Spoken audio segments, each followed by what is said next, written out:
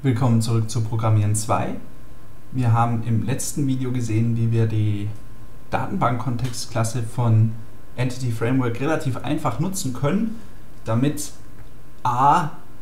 Entity Framework weiß, welche Klassen sollen denn überhaupt in Tabellenform in einer relationalen Datenbank abgebildet werden. Andererseits haben wir dann diesen InvoiceDB-Kontext hier eben erstellt und einfach mal Speicherobjekte, also äh, Objekte, die bei uns im lokalen Speicher liegen, eben direkt gegen diesen Datenbankkontext registriert und dann einfach mit Save Changes diese Daten wirklich in die Datenbank übertragen. Und dann kam sofort die Frage, hey, in welche Datenbank geht es denn überhaupt?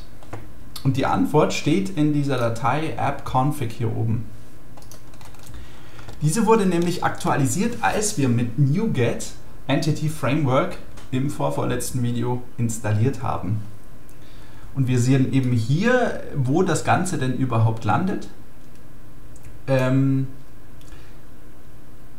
prinzipiell erstmal, appconfig ist eine XML-Datei, die man auch noch dann anpassen kann, wenn der ganze Code kompiliert ist und an den Kunden ausgeliefert wurde. Das heißt, wir können äh, mit allem, was wir hier eben festlegen können, die, das Laufzeitverhalten unseres Programms durch Konfiguration nochmals ändern. Und dazu wird eben immer noch sehr häufig XML eingesetzt, sowohl in Java als auch in .NET. Und hier kamen eben jetzt ein paar XML-Knoten hinzu, die sich eben allein mit äh, Entity Framework beschäftigen, und zwar welch, in welcher Datenbank das Ganze denn eigentlich landet. Und wir sehen eben hier in diesen Config-Sections wird quasi hinzugefügt, hey, es gibt eine Config-Section für Entity Framework. Das sagt letztendlich nichts anderes aus, als dass hier eben ein Knoten Entity Framework ist, der eben dann auch äh, Computer unterstützt vom .NET Framework ausgelesen werden könnte und so weiter. Und hier innerhalb dieses Entity Framework Konfigurationsknotens gibt es eben dann auch die Default Connection Factory. Und hier sehen wir jetzt eben, dass wir hier sowas wie LocalDB haben. Und genau in das schreiben wir rein. LocalDB ist ein Datenbankserver. Das kann ich auch mal nebenbei noch hier so mit hinschreiben. Wir schreiben eigentlich in LocalDB rein. Und das ist eigentlich nichts anderes als ein MS-SQL-Server, also das Datenbankmanagementsystem von Microsoft, äh, der aber standardmäßig nur aktiviert wird, wenn eben Datenbankverbindungen zu ihm aufgebaut werden. Ansonsten läuft LocalDB eben nicht. Der Punkt ist, LocalDB ist eben für Softwareentwickler gedacht, die Integrationstests fahren oder Integrationsbeispiele, wie das eben jetzt bei uns der Fall ist, indem man mal schnell was in eine Datenbank schreiben möchte oder mal eine Datenbank auslesen möchte. Genau das ist eben hier bei uns der Fall. Wenn wir aber Visual Studio wieder schließen, beziehungsweise eigentlich, nee, wenn unser Programm geschlossen wird und wir in ähm, Visual Studio selbst keine Verbindung zu dieser Datenbank aufgebaut haben, dann äh, ist es eben so, dass LocalDB nicht läuft. Und das ist eben der Vorteil. Datenbankmanagementsysteme sind nämlich relativ große Speicherfresser. Ein Beispiel für andere Systeme wären zum Beispiel eben der MS SQL Server selbst oder Oracle. Das ist eigentlich mit der bekannteste und wahrscheinlich häufig genutzteste äh, Datenbankserver zurzeit so der eingesetzt wird. Äh, MySQL wäre noch eine Datenbank, die mit dazu gehört. Ähm, und ähm, fällt mir Postgres fällt mir noch ein. Genau, das sind so die Datenbankmanagementsysteme, die wahrscheinlich mit am häufigsten eingesetzt werden. Okay. Also wir schreiben in LocalDB, das wird automatisch mit Visual Studio installiert und läuft eben standardmäßig eigentlich nicht mal wenn wir das nicht wollen. Wir werden jetzt durch View Server Explorer, kann man das nochmal hier direkt anschauen, also wir wählen jetzt diesen Menüpunkt Server Explorer hier oben auf in Visual Studio, eine Verbindung mal direkt zu dieser LocalDB aufbauen und im Speziellen eben zu unserer Datenbank. Damit man das machen kann, wenn man hier den Server Explorer sieht, geht man eben auf Data Connections, macht hier dann einen Rechtsklick und sagt ähm, neue Connection, also Add Connection. Und hier müssen wir jetzt eben, das ist ein bisschen das Problem an LocalDB, da es ja standardmäßig nicht läuft, müssen wir hier den Namen von LocalDB eben direkt eingeben, ohne dass wir hier jetzt eben aus der Liste der ähm, existierenden Server direkt einen auswählen können. Also normalerweise wird jetzt hier eben gesucht, gibt es im Netzwerk irgendwelche Datenbanken, die laufen und man sieht eben, bei mir ist das jetzt hier nicht der Fall. Aber nichtsdestotrotz, wenn ich hier eben localdb Klammer zu slash v11.0 eingebe,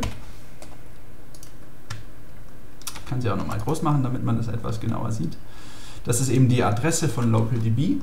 Dann können wir tatsächlich darauf zugreifen und wir finden hier unten jetzt eben äh, Hello World Invoice DB Context. Das ist unsere Datenbank, die erstellt wurde. Und wir können jetzt hier OK klicken. Und jetzt läuft LocalDB auch tatsächlich und wir können jetzt uns hier mal die Struktur unserer Datenbank anschauen. Also, eine Datenbank ist, wie schon einige Videos vorher gesagt, aus Tabellen aufgebaut und äh, Entity Framework hat tatsächlich eben diese Tabellen für uns gebildet. Entschuldigung, wollte ich natürlich so machen. Die Migration History ist eine interne Tabelle, in der wir, ähm, wenn sich an unserem Datenmodell etwas ändert, dann muss sich natürlich auch die Tabellenstruktur ändern.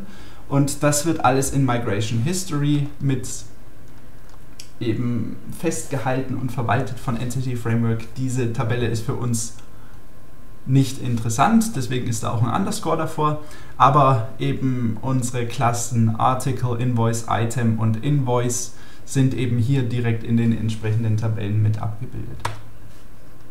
Ja, und dann schauen wir doch einfach mal hier direkt in die Articles rein. Ich mache einen Rechtsklick und wähle Show Table Data. Und wir sehen jetzt eben hier, wie vorher schon gezeigt, so sieht eben dann ein Tabelleninhalt aus. Wir haben jetzt natürlich nur drei Elemente drin. Normalerweise hat man in so einer Produktivdatenbank mehrere tausend bis mehrere zehntausend, manchmal ein paar hunderttausend Einträge in einer Tabelle, kommt je nach Anwendungsfall eben drauf an. Aber im Prinzip haben sie dann halt einfach mehr Einträge hier und vielleicht noch mehr Spalten natürlich mit mehreren Foreign Keys. Das ist eben eine Tabelle, die hat überhaupt keine Foreign Keys. Aber eben hier haben wir trotzdem den Primary Key für jeden Eintrag. Der wurde automatisch von Entity Framework vergeben. Wir haben das nicht explizit im Code gemacht. Und hier sind eben trotzdem die Eigenschaften unserer Objekte festgehalten. Also hier nochmal wirklich hingeschaut, damit man das sehen. Egal welches Objekt ich hier erstellt habe, ich habe nie die ID gesetzt. Nie. Das wurde alles selbstständig von Entity Framework vergeben, als ich hier Save Changes aufgerufen habe. Das sollte man auch selbst nicht machen, dass man die ID festlegt. Ja, interessant sind eben hier die Invoice-Items beispielsweise oder die Invoices, da können wir auch nochmal mit reinschauen. Wir haben hier eben bloß eine Rechnung, die eben auf mich ausgestellt ist. Und das ist eventuell auch noch interessant. Wir haben hier in dieser Tabelle keine sonstigen Einträge. In der Klasse selbst haben wir noch eine Liste auf Invoice-Items. Die wird hier nicht abgebildet. Der Punkt ist einfach, wie will ich denn hier eine beliebige Anzahl an Invoice-Items innerhalb einer Zeile abbilden? Das geht nicht. Ja, ich habe immer eine statische Struktur in Tabellen. Ich kann ja nicht einfach beliebig Spalten hinzufügen und da eben sagen, äh, dieser Eintrag referenziert die Invoice-Items 2, 7, 88 und 99.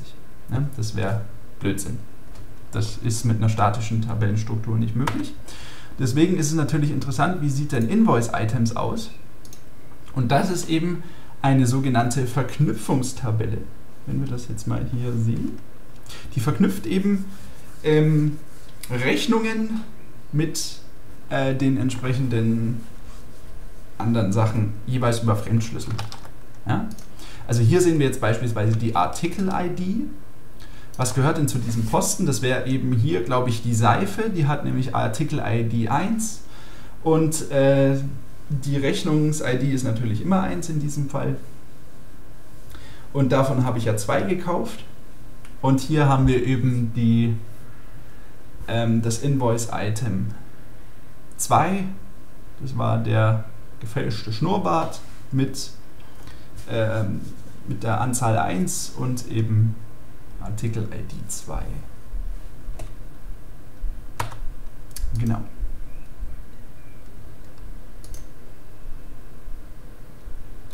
Okay, so sieht eben die interne Struktur aus. Und ähm, wenn man dann natürlich auf andere Datenbankserver geht, dann würde man natürlich auch hier bloß in der App-Config anpassen müssen, äh, was wir denn, in was wir hier standardmäßig schreiben. Das wurde aber grundsätzlich erstmal auf LocalDB gesetzt, damit wir leicht damit testen können. Und ansonsten haben wir mal gesehen, wie eine Tabelle intern wirklich aussieht. Wir haben gesehen, wie wir mit dem Server Explorer explizit auf bestimmte Datenbanken zugreifen können. Und damit sind wir eigentlich schon fast am Ende mit dem, was wir hier eigentlich alles in ähm, diesem Beispiel mit Entity Framework machen wollten. Okay, dann sage ich vielen Dank fürs Zuschauen und im nächsten Video werden wir nochmal eine Zusammenfassung für objektrelationale Mapper machen. Und ansonsten sehen wir uns dann im nächsten Video wieder. Bis bald.